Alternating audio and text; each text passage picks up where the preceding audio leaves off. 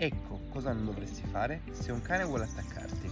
Ciao, se non mi conosci mi presento, sono Antonio Puccio, sono un dog trainer e aiuto le persone come te a costruire una relazione perfetta con il proprio amico a quattro zampe.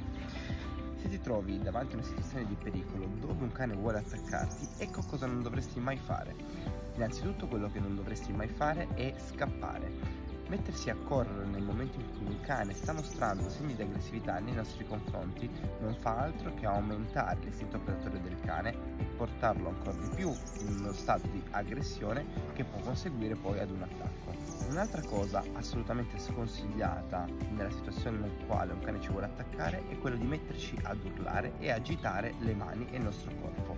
Andando a mettere in atto questa tipologia di comportamento stiamo andando ad eccitare il cane ancora di più e anche questo potrebbe portare il cane non solo ad una semplice minaccia ma arrivare anche ad attaccarci. Quello che però possiamo fare per andare a placare questa tipologia di situazione è muoverci lentamente.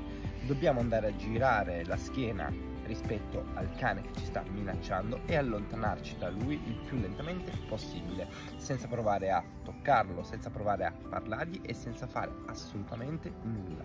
Ti aspetto nei commenti per sapere se conoscevi questa metodologia di approccio in situazioni di pericolo. Ricorda di seguirmi e di lasciarmi un like.